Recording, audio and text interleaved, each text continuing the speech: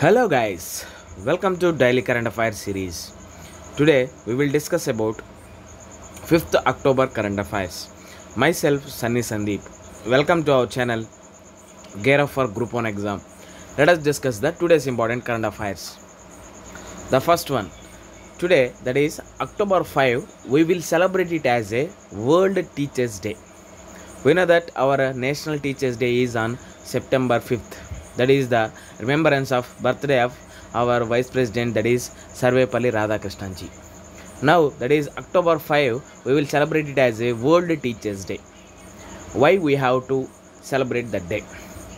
Why? Because their their services to towards our that's why we are celebrating that uh, october 5 as a world teachers day we know that there are different peoples there may be engineers lawyers doctors and so on. But who will create these persons? The only one answer is the teachers. That's why we proud to celebrate the teachers day. That is either maybe national teachers day or or it may be a world teachers day.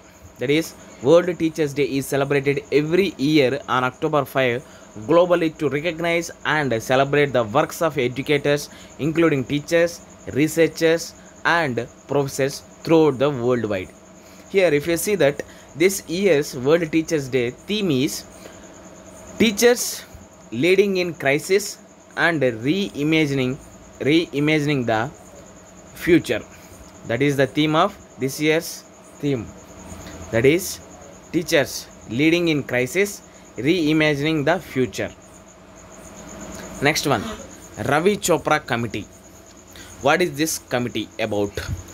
This committee about here we have to know about the the chairman of Supreme Court appointed a expert committee has alleged the violations of court orders in the execution of the Chardham Road project.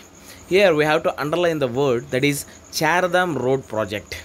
It is a length of 900 kilometers and it is a worth of 12,000 crore. Enterprise to connect the pilgrimage spots in a Uttarakhand. Here we have to know about Chardham project. Here, this Chardham project consists of four holy places. That is, in the Great Himalayas in Uttarakhand, the four pilgrim destinations, namely Yamunotri, Gangotri, Kedarnath, and Badrinath, are collectively, are collectively we will call it as a Chardham. There is a, some allegations, uh, alleged violations in that Chardham project. That's why there is a high-powered committee appointed by Supreme Court. That is Ravi Chopra Committee. Next one, Shaurya missiles. Here, recent recently we are seeing that our India government or DRDO is testing different types of missiles. Last week we have seen Abhyas and there is a, we have seen about hypersonic missile also. Now it's time to Shaurya missile. Here it is a family of K family, K missile family. Here, a successful trial of the nuclear capable Shaurya missile was conducted by India. Here, the Shaurya is a land based parallel of the submarine launched K 15 missile. It is a land based parallel of the submarine launched by launched K 15 missile. Here, these ballistic weapons belongs to the K missile family. Here, this code name is later given late after code named after later our missile man of India that is President Dr. APJ Abdul Kalam.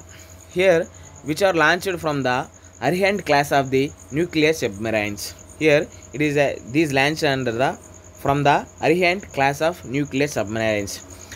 I previously said that that is it is a family of K family. That is the K family of missiles are primarily submarine launched ballistic missiles that is SLBCM which have been indigenously developed by DRDO that is Defense Research and Organizations.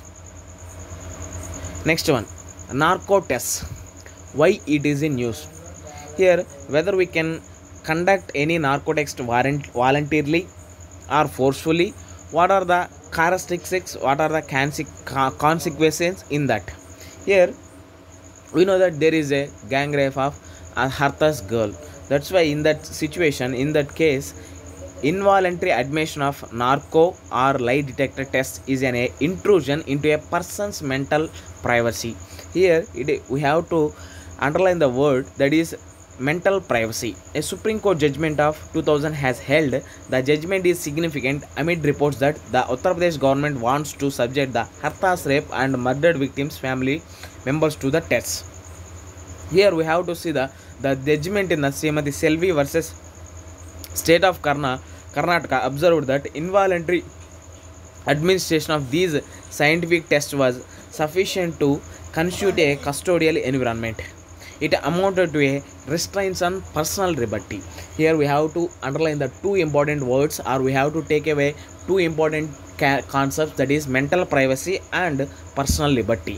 That's why whether we have to or any we have any any permission we have to take from higher authorities to conduct these narco tests or whether any judgment related to this narco test we have to consider all these tests then only we will proceed to the conduct uh, con- conduction of this narco tests with this we can conclude our video.